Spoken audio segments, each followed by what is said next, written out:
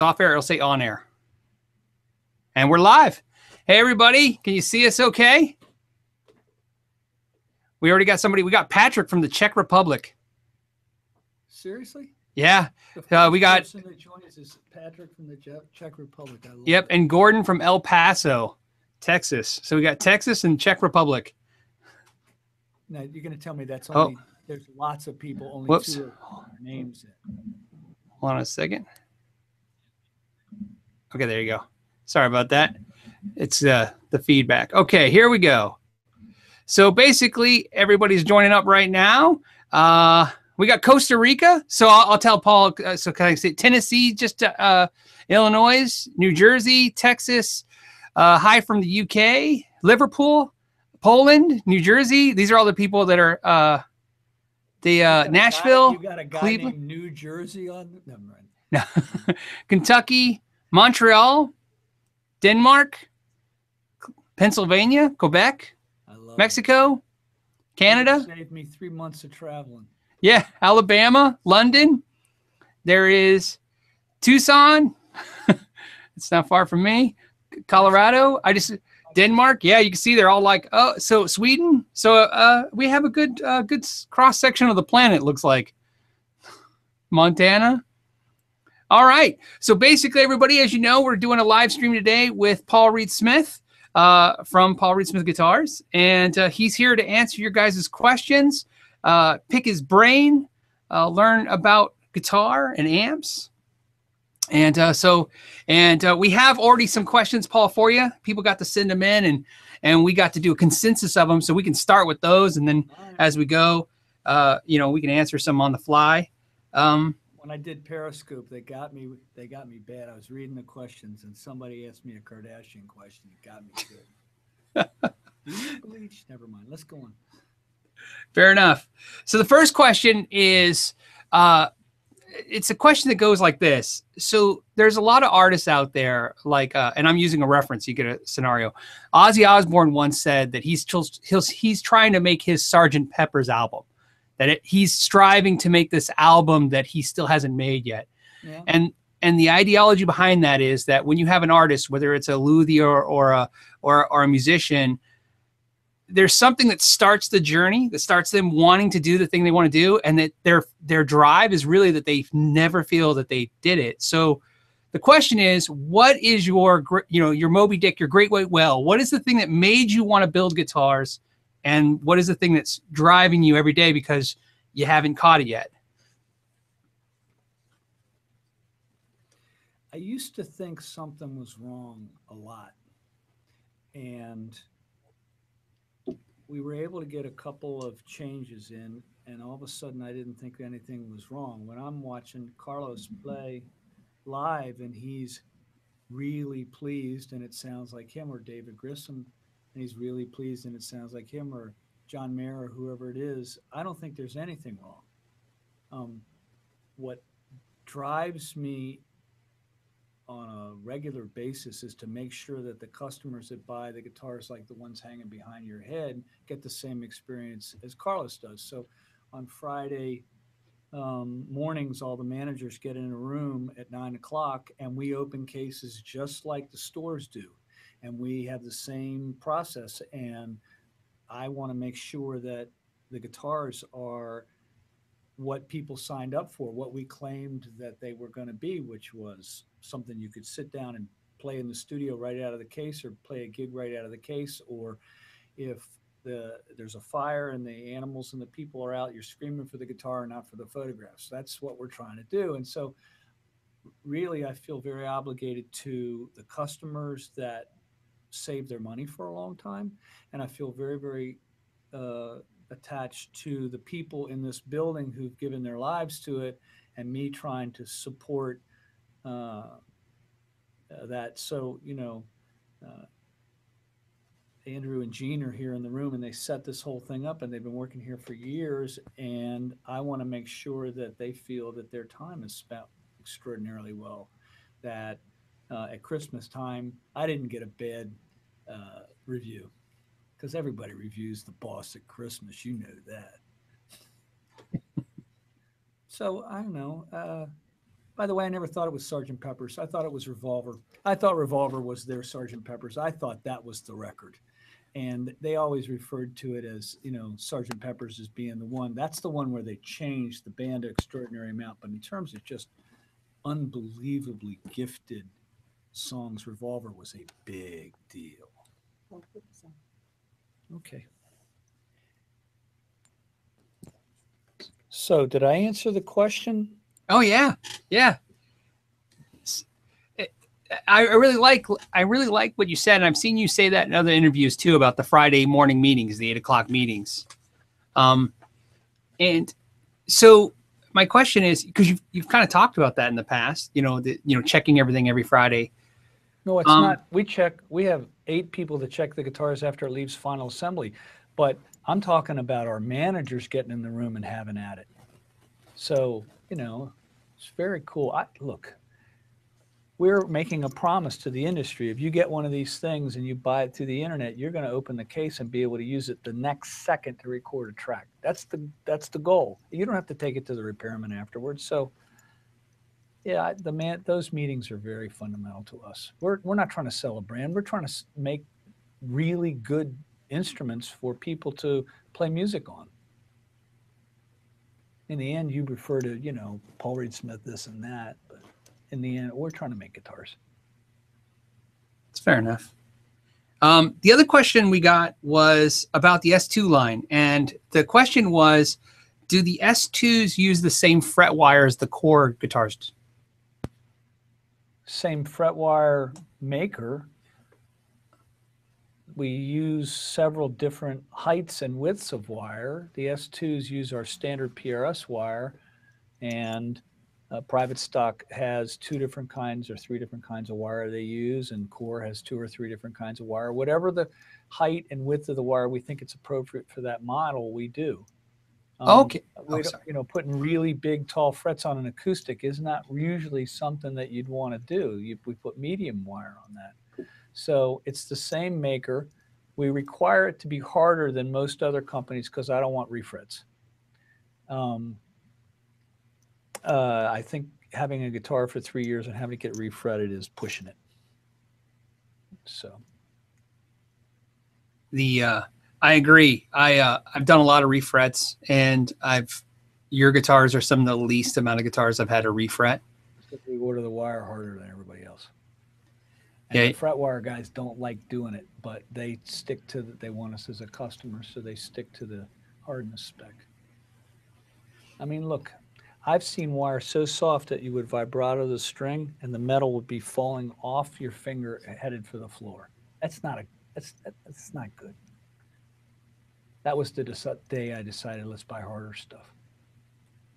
Now, I noticed you, you guys, uh, when you're talking about the harder stuff, you said in, in one time you had mentioned that it's one, it's still nickel grade, right? It's not stainless steel, but it's under stainless steel. hang on, stainless steel and nickel, stainless steel is full of nickel. So stainless steel and nickel fret wire, the, the composition is not that far different. But go on. Okay. Okay. See, that's no, good to know. no German silver and nickel silver. Do you think they put silver in that stuff that's on a guitar? People be taking them off and taking them down to the jewelry store and trading it in. I, they don't do that. But whatever. So, what's the advantage? You know, because now a lot of makers are putting emphasis on doing stainless steel frets. They're saying Stainless steel this is- frets are pretty hard. It's pretty hard stuff. It's hard to work with. Um, I think it's good material. I haven't experimented with it enough to be able to give you a definitive answer. I have experimented a lot with what we use. I like what we use. I don't get complaints about it, and the refret return rate is very low. Okay. Of all weird things, Mark Tremonti sent us a guitar back that was the frets were just annihilated. And it wasn't because the fret wire was soft, it's because he had played it for nonstop 10 hours a day for four years. That was really encouraging that he liked the guitar that much. that's how I that's how I really found out your fret wire was harder. I had a a customer he bought an American Standard Strat and he's gigging two nights a week, Yeah. four four hours a night, Right. uh, doing cover band. And in a year after he bought the guitar brand new, he had just gouged those frets out. Yeah. Um, so we refretted it, and that was just the process. And then a couple years later, he got a custom 24, and then same process, same instrument. A year later, the frets had basically nowhere in them. Right. So, So- I talked to Jim D'Addario about this. and turns out a high E string and a B string are almost the hardness of a file. When you take a piece of wire and you draw it down that small, it gets really hard. So um, the fret wire is nowhere near as hard as the string is. Um, if it was harder than a string, it would eat the string up, but that's not the way it goes. It goes the other way. So it's a balance. I was really surprised when I started to check the hardness of the really small strings. It was really hard stuff. You draw that steel through that small a die, it it it anneals really hard. That would make sense because that's usually where the frets are most chewed up. Yeah, with the plain strings. yeah. Yeah. So, okay, next question is, um, so this one's a little strange, uh, but it's a little outside the guitar realm. But it's uh, how did you get involved with the radiation research with sound? Uh, there, My my father and I worked on all weird things, a guitar synthesizer. The problem with a guitar synth is that when you hit the low E string, it takes three passes of the string back and forth to figure out what frequency it's vibrating at, and then the synth goes off late. Everybody knows that that happens.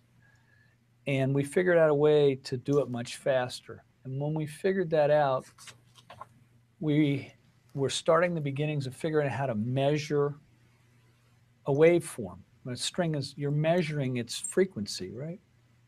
So when you're putting ultrasound in the body, you're measuring it when it comes out. When you're putting X-ray in the body, you're measuring it when it comes out. When you're putting radiation in, you're measuring it. When you're putting radar in the air, you're measuring when it comes back. Sonar, all these machines. A camera is a measuring device for photon waves. That's what it is. And we ran into this without even knowing. We ran into this new technology about how to measure, and we took it to Ted Jensen, the great mastering engineer in New York. He says, I think you've found something digital that's very powerful. You might not want to go in our industry. And I would thought that Ted's, I mean, he's always thought of as brilliant, but I thought that comment was very revealing. And we ended up showing this measuring device to Hopkins, and they like the idea for lowering the radiation put it, when you're doing mammograms and uh, chest X-rays and stuff. Because if we can measure it better, we don't have to put as much radiation in the body to do it. So it all started with guitars and ended up not guitars. But you know, I never did make the guitar synth. I never made it. We made a guitar synth last year that we were screaming and yelling because it sounded like unbelievable. But that's a whole nother story. One day we'll see. There's many projects here at Puros we haven't released yet, so maybe that'll be our uh, what you call it, um, Sergeant Pepper's. right. Yeah, but I don't think so. All right, let's go on. Okay, that ties in the next one, which is um, what do you think the next paradigm shift in the guitar technology is going to be? What do you think the next? Where do you think it's going to? Not what it is, but where do you think it'll go? All right, there's two answers to that. We'll do the first answer and the second answer, all right? First answer is we're in a throwaway world.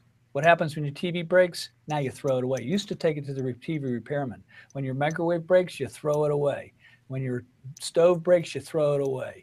All this it used to get repaired, right? So for me, I'm fighting with every nothing I have to try and get people to care for their instruments the way a Stradivari violin would be cared for. You think if a Stradivari violin gets a crack in it, you throw it away? No, it goes to the repairman. They're in the shop all the time. You find an extraordinarily good repairman to help take care of your instrument and do all the little teeny things to it that it needs. There was a guy walking by my wife and I in the Atlanta airport with a holding a nylon string guitar and he didn't have a case. And I said, That's the problem right there. She goes, What are you talking about? I said, What's he going to do when it breaks? She said, Throw it away. I said, Exactly. And every time I'm on the road doing clinics, I'm begging people to look at a musical instrument as a fine thing that needs to be cared for and loved.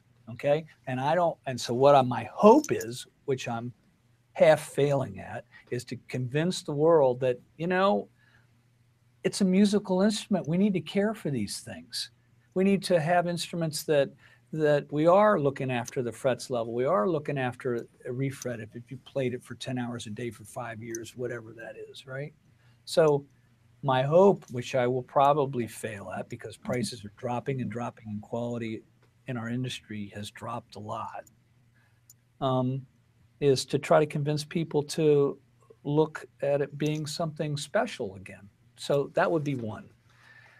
The other thing I can't talk about, uh, we ran into something upstairs that might be a way of getting away from 50s technology. So, so right now, what do you, you got? A guitar that's not that much different than what Ted McCarty and Leo Fender made in the 50s. You've got single coil pickups were wire mag wound on Alnico magnets, and you've got humbucking pickups with and from 1958 with two coils and an Alnico magnet underneath, and millions of variations in that, and variations on the scale lengths and all that stuff. Probably the fundamental biggest thing that ever happened in our industry was a when you when they invented the precision bass, you didn't need to put an upright bass in the cab anymore to go to another session. You can just grab the case and go. It was a big deal. Um, so, do I see that coming? Um, not to that level, but I there's a couple of things that could be very cool. Um, we make electric guitars, um, and uh, they're not that electric. They're a passive device actually, and the bass industry has gotten closer to accepting preamps and um, what pedal board is is 20 preamps. That's what it is. We've turned the guitar into a synthesizer controller. Really, all the pedals are, you know, a way to modify the sound. Um, but I see something coming, and you're not going to get me to talk about it. No way. I think it's patentable. I'm not talking about it. Next question. Fair enough. Um, this one's just an easy one. Uh, we had a viewer ask about the. Uh, so you started when you started your guitars. Yellow was the primary color, right? The yellow one was one of the ones you used a lot. It was yellow, blue, and red. And so first poster, first brochure, yellow, yellow, blue, and red. And their question was on the 594, how come there isn't a red one? Uh, you don't make a red one. You So can that's- order a red one in private stock right now. I'll make whatever you want. I'll even put a cigarette lighter in it. I'll do whatever you want. I, I mean, come on, give me a break. You can get a red guitar. There's a guitar behind you close to red. The back of the other, the PRS is red on the back. Of course, I'll make red. The yellow thing, guitars in general, the middle of an old Strat, the middle of an old Les Paul, a gold top, they're all versions of yellow. Violins are all versions of brown, orange, and red and yellow, right? I mean, this is not new that guitars are yellow. I mean, a Martin when it when it when the top ages, it turns yellow. Uh, Right. That's that's just, just yellow is the guitar color. What blew me away what started it all was somebody sent me a purple balloon. He said, blow it up, hold it to the light, and make it that color. So we blew up this balloon, held it up to light, and it was a spectacular purple color. And that's when we stained them purple. The brown guitars came because there was brown stain in the wood we wanted to cover up. The black ones came because there was black stain in the wood we wanted to cover up. The green one that's sitting over behind you came because it was green stain in the wood that we wanted to cover up. And so we didn't want to throw the wood away. So that all started. And then we hired these guys from MICA, which is the art school here in Maryland, and they went nuts with the colors. And so now we have a six month running start for a new color, and a, a company that I can't mention actually didn't just copy the color, they took the name too, which I thought was ah. really ballsy. And we used to have a year head start or two years head start on tortoiseshell. That's over. These guys are inventing new glow colors and stuff by the day. And what fun. It's just, look, it's a big spectrum of colors, and we're like staining things sideways and staining them this way and that way. Just people like having something that nobody else has. I It's agree. okay. It's all right. Get over it. Eh, we'll stain it any color you want. We just made a double neck for a very famous guy. He's going to be on the road with it. It's blue. So this sky blue color. Hell, I'll tell you, it's for John McLaughlin. He's going out with Jimmy Herring. What fun. So it's a double neck 12 string, six string guitar? Well, that's kind of what John played in the old days, isn't it? Yeah. Yeah. Yeah. Mm. Okay, that that ties us in since you mentioned art, an artist. This is the another thing that came up in a What's question. your shirt? A guy plus a guitar equals a happy guy with Yeah. the fingers up? What is that? Yes. Okay, fair enough. I don't do this. Next. The- we we actually have it was funny we actually have a version of the shirt with a double cut looking guitar instead of a strat looking guitar and the guy's doing the hang 10 instead of the rock sign Is that good or bad? uh, I- just just because not everybody likes the whole rock thing you know Whatever. All right, next. so so the question came up about artists and something that you know on this channel we're a lot of gear geeks and we noticed something about your artist roster that is very impressive but understated. So on your artist roster what we what when you look at your artist roster on your page there are dozens and dozens of guitar players that are not so much famous but known for backing famous people. You have mm-hmm. beyonce's guitar player uh, you have, uh, you know, Dave, Dave Weiner. You have Steve Vai's guitar player. Yeah. You have, you know, Tim McGraw's guitar player. Toby Keith's guitar player. Uh, Keith Urban, Grand Funk Railroad. Um, Reba McEntire, Jethro Tull. You know, right? Carrie Underwood. What's Uh, wrong with that? You're No, no, no, no. This is the important part. It's not Jennifer Lopez. You know, it just goes on and on. The import. It's not nothing wrong with it. It's something right with it. That is impressive. It's almost a statement that says, if you're a musician that has to literally impress the hardest boss in the industry, you know, everybody from Elton John to Bruno Mars to, you know, to Beyonce, it matters that your gear is right it's not like you're you're getting an endorsement. You're you're literally need this stuff to be right. If you're the guitar player for Garth Brooks, you don't get a Why second don't- chance why on don't you run my marketing department with with uh, with Judy? That comment is extraordinary. Nobody's ever said that. Normally, we'll get shot. How come it's not Toby Keith? How come it's his guitar player? But you're right, and I, I couldn't really appreciate what you just said more than what. It's wonderful what you just said, everybody here would be cheering to hear what you said. Um, and I, you know, uh, Bev has worked with her team unbelievably hard in artist relations to do that. I'll tell you a story about that that blew me away. I was at a dinner for all these artists in the country market in Nashville. And they got with me and they said, We have to take a PRS to the session now. And I looked at them, I said, What? And they went, Yeah, if we don't, they'll erase our tracks. And I went, Pardon me?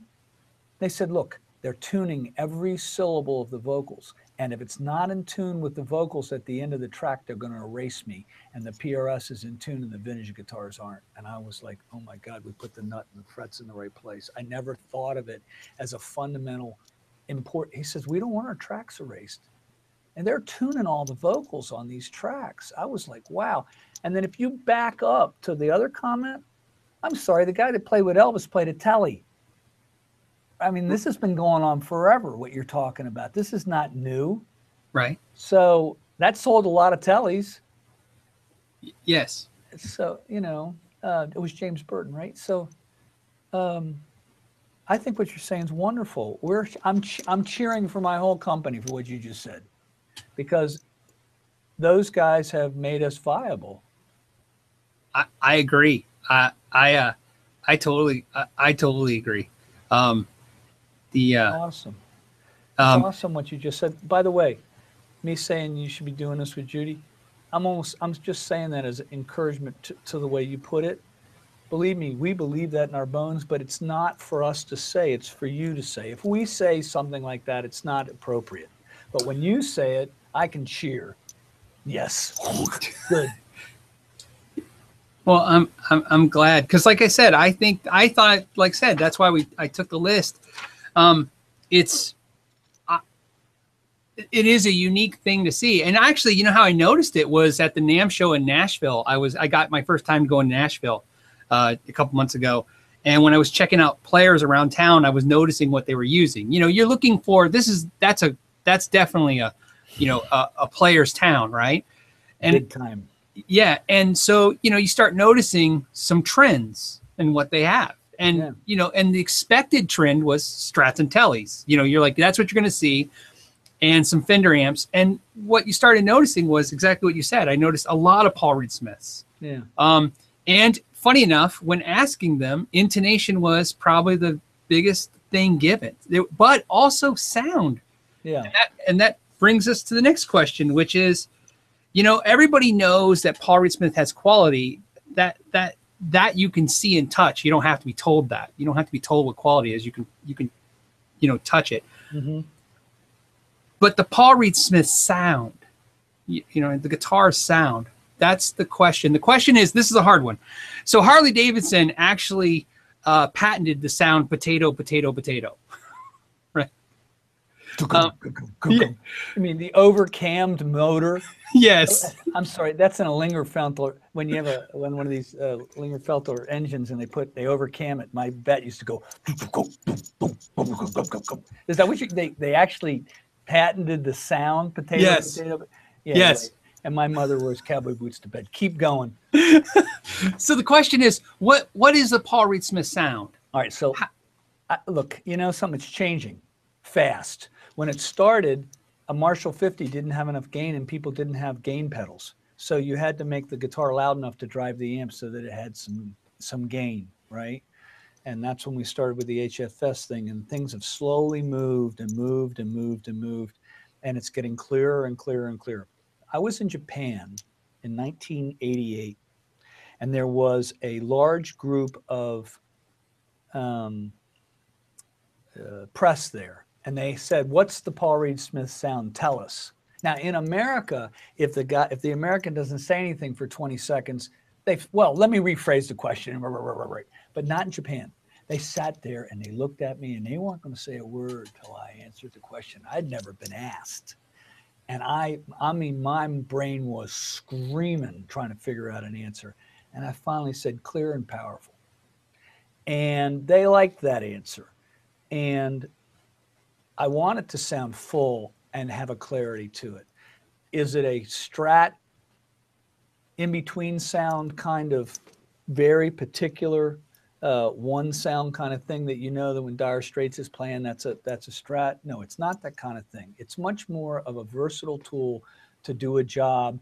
And one of the things that bosco france said the other day at a clinic he said whoever picks up a PRS, they sound like themselves. They don't sound like that guitar, they sound like themselves. And that's what the idea was. You want David Grissom to sound like himself. You want um, uh, uh, Jimmy Herring to, to play sound like himself. By the way, Jimmy Herring's playing state of the art guitar right now. If anybody's seen Widespread Panic or his band. And I said, Why in God's name, Jimmy, are you playing a PRS? He said, Because it'll do things my vintage guitars won't do which I thought was a very sophisticated answer. I asked it one asked Brent Mason why was he playing a DGT, and he goes, "Because it works for me." Which I thought was a very sophisticated answer. In other words, when I plug it in with my style in in an amplifier, it works for what I, what it is that I want to do. So, my hope would be that the guitar would sound like the person who's playing it, not like the guitar. That's awesome. Much better than potato, potato, potato. I like potato, potato, potato.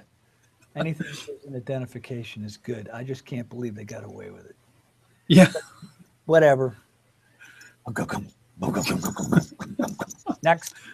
Okay, the next one is uh, so here's a question, and it's about the SEs and uh, Rosewood, in the idea that there's some some viewers out there were saying that they live in areas of the world now where there's not a Paul Reed Smith dealer, so they order online, but they're Right. having trouble getting SEs because of the Rosewood issues. So their question is, are you going to look at making some SEs now? Are you going to look at alternative fretboard materials for the SEs All right. So that's make the that first easier. time I've heard of that.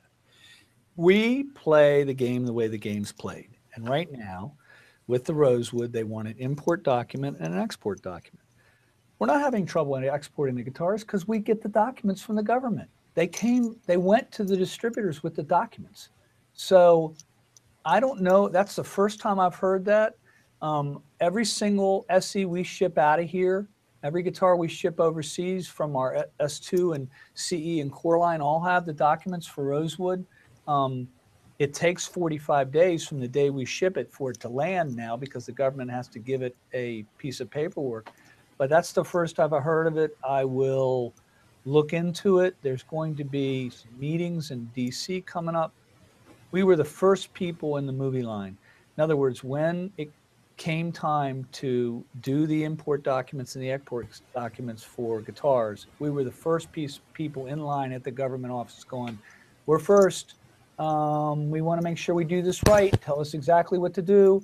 They told us exactly what we did, and we did it to the letter. We were the most as fat. Um, literally, they said you're the first company to come in, and all the people behind the curtain that we'd never met at Fish and Wildlife were sitting in my office the week after this announcement. The U.S. government didn't do this. The U.S. government had to abide by the ruling. Right. So I don't know. That's new information for me. I need to look into it. Um, if that person who said that can write me a letter through customer service and describe exactly what the situation was, I'd like to know. Yeah, there, that's there, good information to have. I didn't know that. Look, they don't. They're not trying to shut the Rosewood use down. They're just trying to make sure that people don't violate the law. It all started with the Chinese using the uh, rosewood from Vietnam, which we don't even use. Dalbergia cochinchinensis is what it's called. I uh, can't pronounce the word correctly. And we don't even use the stuff. So uh, it's a long, interesting game that's going on. And then that brings us to the next question, which is you guys did those reclaimed wood guitars this year, which were a hit. I mean, they sold out like nothing. You know um, why, um, right? Did you strum one? Oh, they're fantastic. They rang like bells it was yeah. like easy to sell. It's like they just went away. They had nail holes in them, and people couldn't get them fast enough. But but you stated out there you were you were talking about them, and you made a comment that because they the wood came from from Africa. Is that where it came from? South America. S- South America. You had made a statement that it was a little difficult to try to get barns, you know, the reclaimed wood here in the United States. So is there something that hinders you from getting reclaiming wood here? No, not as much, but this stuff was available down there. It looked like good musical instrument wood. It wasn't um, a conifer like most of the reclaimed wood is on barns in this country. I mean, you don't find walnut barns. They didn't cut, you know what I'm saying? So, uh, I think it surprised us I think it has surprised the industry. I think it surprised the customers at how fast these things got ordered. As a matter of fact, more got ordered than we had wood for. Yeah. And um, very interesting how, look, in the Friday morning meetings, we'd strum them and go, nice guitar. We were hardly putting any paint on them. You know, they had this satin nitro on them, and ah, it's just good fun. Look, to everybody that bought one, to all your gear people who are enjoying one, thank you. And let's just leave it at that. Fair enough. Um, the next one is uh, so uh, the, the, what have you learned? So now you guys have been doing the S2 line for about three years. Yeah. What have you learned from doing that? From because you've now separated your American line into two categories. So, you know, and and and on a side note, I want to add to that question, which is because I have S2s as well. I love the S2s, um, and it's interesting to me because there are some things about them to me that are exactly like the core guitars, and there's some things that that are not like the core guitars, but I still love them. So it's so it's not like they're less. That's what I want to get at. They're not lesser than. They're just different. What did I learn? Was your first question? Yeah, hundreds of things so that's an unfair question. You're talking about starting up a new line and cutting the price by three fifths and still making it in Maryland. If you don't think there's a learning curve on how to buy the parts, how to make them in that kind of time, what the how to do the neck uh, process different and still have the neck be straight for a lifetime and all the body stuff and ordering the pickups and the bridges and it just goes on and on and on. I've learned a huge amount to be specific about it you'd almost have to go part by part, whether it be the nuts or the tuning pegs or the fingerboards or the frets or whatever. So I, let's leave that one for B.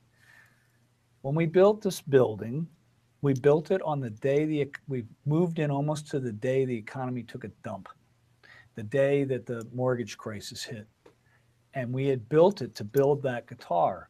but now we were in uh, uh, survival mode and we built our wood libraries and everything we could possibly do. We put all the wood up for sale that we'd been hoarding away for 10 years. We did every trick in the book to stay alive. The boat business in Annapolis died by 90% in one day. And my friend owned Chris Craft of the Chesapeake, uh, Chris Craft of the Chesapeake. He was he was bankrupt in three months. So we we worked really really hard. Three years ago, things had recovered enough for us to work and spend the money on the tooling that we built this original building for. And the idea was always to make a Maryland built guitar for two fifths of money, and it worked. Um, it worked different than we thought. People took a huge amount of them, then it kind of relaxed, and now it's coming back up. I think it has a good reputation. I think it's um, considered a quality guitar built in Maryland. Um, but, you know, the, prices of things, if you haven't noticed, whether it's DW drums or whatever, prices have dropped. And for people to survive under the situations, um, it's not so easy. I think S2 is a real success at two fifths the money, and the new Sonzera amp that we're doing is a real success, and the new acoustics that we're doing in SE is a real success um, we have really focused on how do you make a guitar that plays in tune, stays in tune, and gets great sounds and plays well and da da da da da for less money. It's not so easy to do. Um, if I was a consultant and I didn't have PRS guitars anymore, the amount that we learn from S2 is enough for me to make a living on. So that's an unfair question. You'd have to be very specific about what did you learn So exactly about what. Well, okay. So on that note, um, the S2s, like things that I, I I don't notice. Does it make sense? So on the core guitars, you use a quarter sawn, basically a one piece neck. Yeah, But on the S2s, you know, you you you, a you, scarf neck joint. Yeah, good luck finding it. It's so it's glued Oh, so you- well you- you'll never even find it. you, you can't. It's fantastic. Yeah, yeah, what's wrong with that? No, there's nothing wrong with it. That's my that's where I'm going with this question. To me, having both the guitars and loving them both equally, All right, so let's go there. I don't notice a whole lot of difference. Scarf neck joints were a sign of a cheaper guitar, but the but we are hope our hope was if we did it well enough, it wouldn't be the sign of a cheaper guitar anymore, right? So. Um, if you scarf on a big long heel on a Martin guitar, it's not a sign of a bad guitar, right? I mean, it, it's okay. and especially with the with the way wood prices are going and all that stuff if you can make one hell of a guitar with a scarf headstock who cares right? And uh, as a matter of fact in some ways it's stronger. I made my living gluing les paul headstocks on because the case fell over when i was young. And this thing ain't going to break because now the grain's going with the headstock it's not at an angle. So what did we learn? I mean we've retooled it a couple of times to make sure it's better and better and better and better what have i learned it's okay we actually made a curly maple one and I couldn't see the neck joint. I couldn't see the scarf. So it's the times they are changing. It's okay. Well, they're they're fantastic. Um, so the other last uh, last question about the S2s. So on the S2 line, all of the necks are wide fats, basically, right? Pattern. No, we make wide thins on C's, Oh, okay. Well, on the C's. but that's Um, got an S2 neck on it. I mean, it's not called an S2, but it's got a scarfed headstock on it right? So, on the but same line. but on the SE models, the Korean models. I meant the CE. I, Yes, I yes. on the CE. Yeah. Yeah. but on the SE models, the Korean Yeah. models, you do the SC 245 with the thicker neck, but you do the Yeah. custom 24 with the thinner neck. Yeah. So what was, which I think makes sense, right? The play, I think that aligns itself correctly with the players. The Right. the players want a custom 24 generally want that faster neck. Players with the more girth in the body, thicker neck. So why not the S2s follow that same logic? Give the custom 24 S2s that smaller neck and then the, the other body shapes. not getting complaints. In S2, uh, we don't offer the wide, thin, the, the pattern regular, the pattern neck and the, and the, and the, and the, the thin one, the regular and- the fatter one, because if you don't cut the amount of SKUs down, the amount of models that you make, you can't make it for that price. Every time you have another option, it makes it more harder to make. Every time, but nobody's complaining. I don't. I have not gotten one phone call that you know I'll take an S2 if you can just put a regular neck on it. I don't hear it. I hear ah, nice neck, same carve as the other one. I don't hear it. If I heard it, I'd be squawking. If sales were down because people were saying if you only did this, look. Let me give you an example. Remember the hollow bodies? Remember the piezo's? Right. Well, we like the, that, but if you could only do the piezo in a 22 fret hot solid body.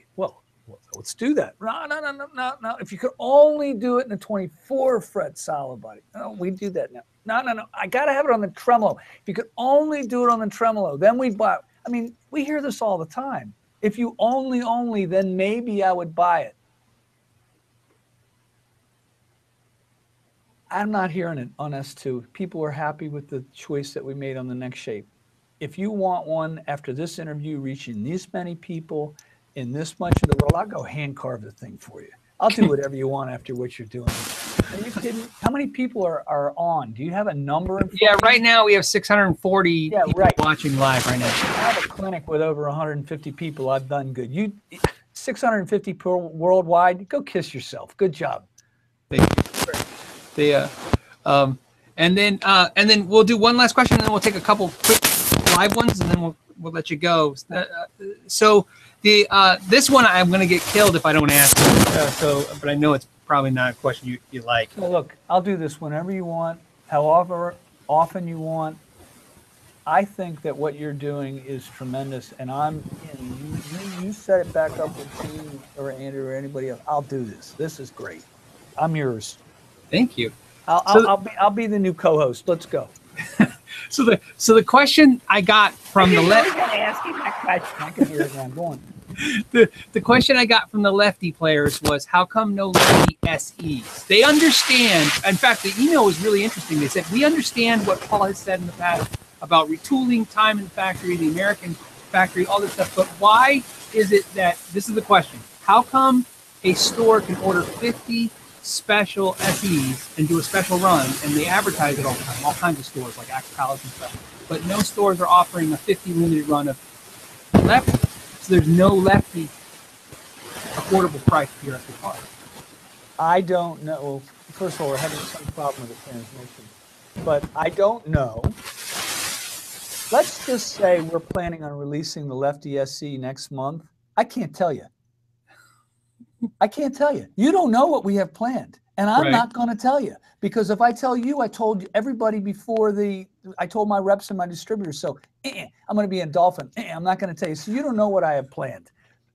Uh, it's a good question. I'll relate it to Jack Higginbotham, who's in charge of this whole thing at this point. I'll tell him there's a great interest in lefties. Forget it. Go to the next question. All right. By the way, they don't make left-handed pianos. They the it was funny over here. Never mind. You know, uh, on a side note, you know, saxophones, Gene. No. Next. um, Hendrix so, played a right-handed guitar, left-handed. This is didn't hurt him, did it? I no, but I think that's what's. I think that's what By makes way, it harder for lefties. From the people who knew him, that he could play with the strings on the bottom or the top, either way. Really? Yeah, yeah. It's nice to be a genius. Go on. Um, that's interesting. I never heard that. Yeah. But uh, you know, it's funny. Uh, Did you hear what he said? They said, "How's it feel to be the best guitar player in the world?" He says, "I don't know. Go ask Rory Gallagher." Yeah, and you go watch Rory Rory Gallagher play at that time. It, he was playing state of the art guitar. There's a video out there on YouTube where they interview all these guitar players yeah. and they ask them who's the best. And what they did that's amazing is they asked Clapton, they go, who's the best guitar player? And he says like Hendrix.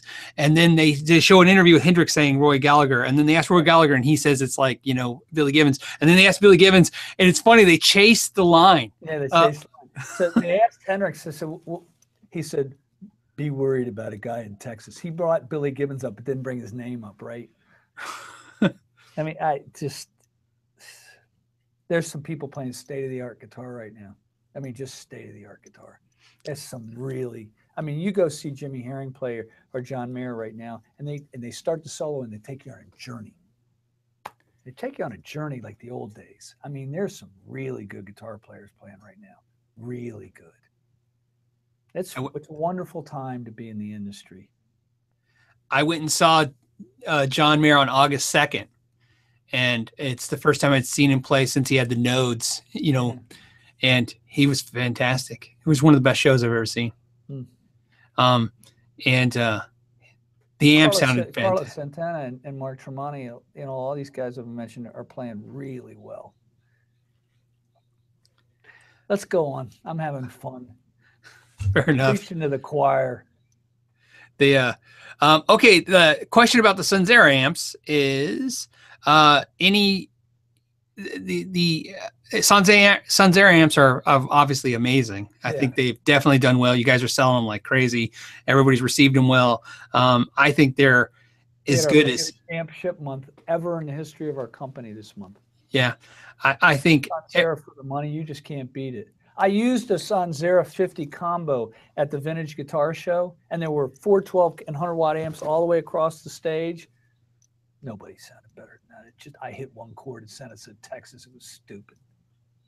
the uh, The Um, bass coming out of that little amp's not fair. I, I agree. I, I the 20 watt I loved. It had it, it just had so much presence and fullness in it, Yes. which you don't see. Um, so the question was, uh, n- now that you've seen that they're, you know, you've you've success with them, are you going to offer a cabinet for them? Because one of the problems, of course, is you can buy the head, but you no can't buy a cabinet. What we're going to release next week, I can't. it's a. It, you're not the first. Under, we're under request the cabinet. It's a constant request. I've heard it at the meetings. I can't tell you what we've got planned. Duly noted. Thank you very much. Maybe you can send me a letter once a month about all the things your people say that if you had one, I'd buy one. I'm not talking about the punter that sits there and does keyboard courage and attacks everybody. I'm talking about somebody who actually wants to buy something. the uh and then and then so this one's another good question too because obviously you know the 594 is very successful. I have one. I got one. I ordered one from you at the NAMM show and i got it about a month ago. It so uh, i love it. It's amazing. Okay. um and that that's definitely your your guitar going after that that kind of Les Paul market right um in the idea that you- right so so of course you know uh, so how how long before you have like a, a strat type guitar then you know what i mean i mean i know there's prototypes out there from What john are you mayer trying to do? Are you Well, trying to get? no. Well, Paul, why don't you just give me a list of all the stuff you're going to release in the next six months so I can tell all my people and I'll tell you exactly what the price points and all the specs are before you ever release it. I mean, he's asking about a Strat type guitar or a Les Paul type guitar or whatever. Fair. No, I, no, no. I look. There's been a lot of stuff on the internet of some of our artists showing sneak peeks of what's coming. You didn't get it from me. Here's the problem with single coil guitars. If you don't have the signal and noise ratio high enough, the hum can be louder than the guitar. The guitar actually has to be really loud and the pickup has to be really loud. Otherwise, the noise is louder than the guitar. And you, you some, you know, if if you one of the reasons these guys play old 63 and 64 strats is because the signal noise ratio on that's better than on a 54. Um, so those were the years where the pickups were the loudest and where the signal noise ratio was the best. You think these guys want the hum louder than the guitar? They don't. It's not an easy game to play doing single coil pickups. Um, anybody who's played a P90 in a noisy club knows you got a banshee going off in the amp, right? So, and you got people like Rob, Robben Ford who play right on the edge of distortion where it's okay, right? But if you got a guy playing high gain, some of those single coil pickups making so much noise, you need a gate. Not an easy game to play. And if we go into that market, I don't want it to be a me too. I want it to be like, wow, this works. Look, we're guitar makers. We want to make a guitar that's not just a look or a sound or an imitation of something they saw on a towel, you know, some rock star playing it. We want to make them a guitar that you can't rip out of their their hands. If you're sitting on a couch with a with a guitar you love, you're in no pain, and when you put it away, there's no hangover. Therefore, it's the best drug ever made. Guitars, are, it's the violin of our time. It's a good thing. I I don't want to go in the single coil market unless we've really done something with a lot of time and energy trying to figure out the best pieces of history and what we can make better and da da da. It's not such an easy game. It's not so easy. Otherwise, uh, otherwise everybody be in Fender's pocket. I I I really liked what you did when you did the 305. That was not really a true single coil, but kind of like the stacked single coils. Those were fantastic. That wasn't that was uh, Alnico square rectangular magnets. Uh, a DC3 was the one. Guy in my band still plays a DC3. I when I did Machine Gun um, with the PRS band and we recorded and got that tone that you can find that was with a DC3. They hum. That's a single coil pickup, but the signal noise ratio on a DC3 is pretty good. Um, I like DC3s. We got guitar of the year from the entire press for the NF3, and then you guys didn't buy them. Now you can't find them on the internet. So go figure. Some things happen in a week, and some things don't take 10 years. Stratocasters were out of business until uh, Hendrix and Clapton picked one back up. I mean, you know, and Stevie Ray Vaughan and Hendrix are selling so many Stratocasters from the grave, it's out of control. Yes. You never know. You just never know. The story is going to be different. Ah. The well, the DC three, you didn't have a player on it. That's the that was the problem when it came out. I'm not so sure that's true, but uh, it, we didn't have a uh, Eric Clapton level player on it. That's true. Yeah. But the guys that have them won't sell them. Oh, I, I, yeah, absolutely agree. You got one, I'll buy it. Next. um, Actually, the reason I say that is Howard Leese took my DC3 to play in Las. He's doing that big rock show in Las Vegas, and he needed a single coil guitar, and the only one I had was mine, and he got the one I'd used on Machine Gun. So whatever. Nice. We, we, got five minutes. Five minutes. Okay. Let's see if we can take a, a just a raw question. Let's see what we can got. I tell you something? Sure. We're doing a version of this at PRS. Do you know that we've started our little YouTube channel where like we do an Instagram live? Yes. Yeah. So this thing that you're doing, which I which I've offered to be a part of, we're starting to do too. It, it the fact that we're going to be able to do a TV show streamed from our factory with very little investment and no deal with you know the TV stations is awesome. And by the way, it's amazing. huge number of people watched the last one. What fun! I mean, the first time I did Periscope, my jaw dropped. It Whatever. is, it is because it, this is my thought for yeah. whatever it's worth. I think the reason why this stuff works now is I like this term. If you use the term social media, which mm-hmm. is what mm-hmm. this is, then that would mean that the existing source of media is on social media. In other words, this is a two-way street and that was a one-way street. That was TV and radio was somebody telling you something, but you had no influence on what was being told to you. Social media is even now, we could read a question, but more importantly, the comments that they leave in these videos, you read them. Whether you say you do or you don't, it changes who you are as a person and they've infected change on you and vice versa. So the new world where people can tell how they're interacting has made this exciting. Okay, point taken. I heard everything you said. Fair enough. Uh, you ch- switched my views slightly, but go on. That's good. This is uh, interactive, interactive TV. Interactive TV. That's exactly it. Fair enough. So here's the question we'll we'll end with since it's a live question. It was a good one. The it's no. What's the next question? the the question was do you, at this point do you actively look for new artists to, to reach out to? Um, or do they just pretty much come to you now? Um, and both. Fair enough. Really? Really we're only going to play one side of the coin? Really? No that's no. Look. Real rock stars don't come available very often. They don't come up but you know you we've listed people here that are not PRS endorsers that are using PRSs in the studio all the time.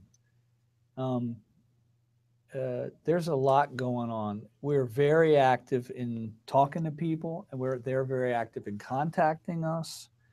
It's really hard to deal with because of the quantity of communication going on. Um, uh, the thing that happened with John Mayer was very cool because he needed an instrument to do that Dead and Company tour that got that sound. And I didn't understand the depth of what it was that that Jerry Garcia tone came from. It's not just the middle pickup, which is, by the way, where it comes from, but they're they're playing a bop. They're playing a like kind of hillbilly bop swing music, right? Which is a, a form of jazz, but available to the masses. It's a different kind of thing with vocals. I, I got schooled and what that all was about. And to get the nod to make that instrument was extraordinary. I mean, John went through every pickup we made in every position with every scaling. He went through everything to make sure that he could get that tone. At one point, we sent him a whole bunch of wooden beads and he filled the whole cavity of the F hole with wooden beads to hear what it would sound like without the cavity. He goes, ah, all the magic's gone. He shook him out and that was the end of that. I mean, we did everything we could do scale length wise, pickup wise, wiring wise. It didn't work without a phase switches. It did work with coil cancel switches. He wanted that preamp that Josh Florian made. Um, I mean, wow, what an interesting thing. And we sold 100 of them in about 24 hours, and then we sold another 120 of them in about 24 hours. And uh, it was fascinating to get the nod to get that Jerry Garcia tone. Um, who knows? He came after us but we knew, you know, we knew it was a possibility.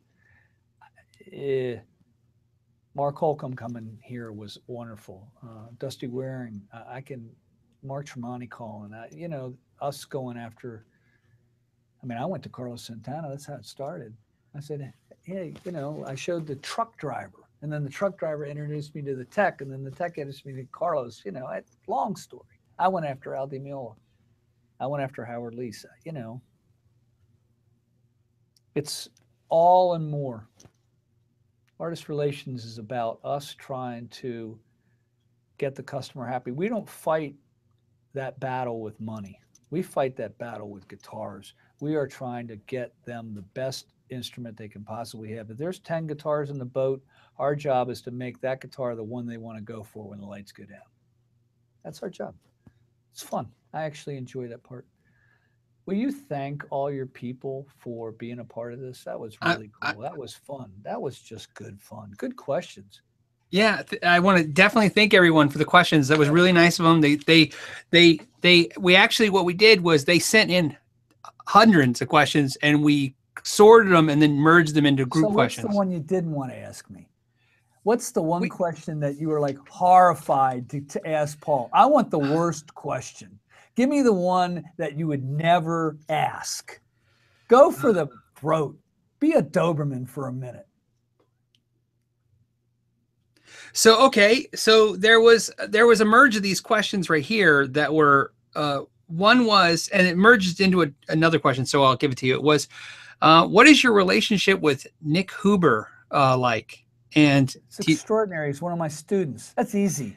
And, I taught him. I helped teach him make guitars. I come on, go, go for something hard. Well, that ties a question like, why are PRS guitars sissy guitars? Why don't you ask something about how easy they play and why I get crucified for it, or you know, why don't you come up with something new other than a 25 inch scale? Why, why don't you go for something like deep?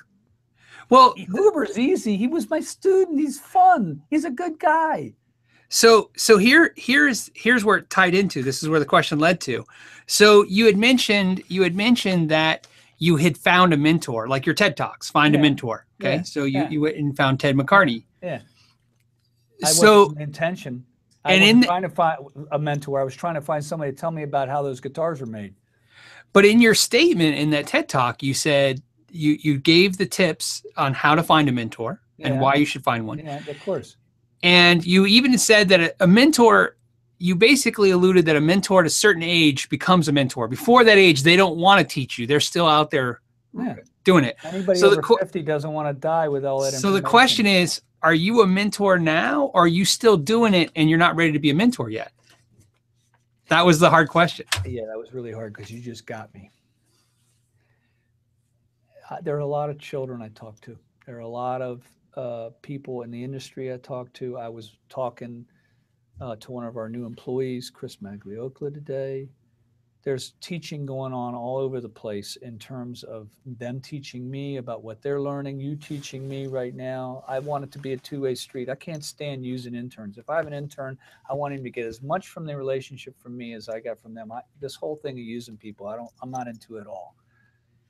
Most of the real mentoring I'm doing is with young people um, right now with my sister's kids and my kids and uh, one of the things my son asked me when my grandson was born was he said, Will you teach my son what you know? And I took about 45 seconds to answer because if I say yes to the first one, I said yes to the last one. It's all of them. You don't just pick and choose kids. That's not okay, right?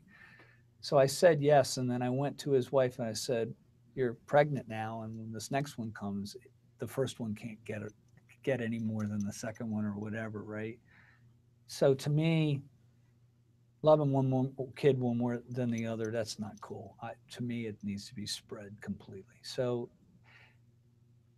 here's where the mentoring part is reflective. And now, and then I'm going to end. People are putting the birds all over their bodies. I'm seeing the tattoos nonstop of the hollow birds.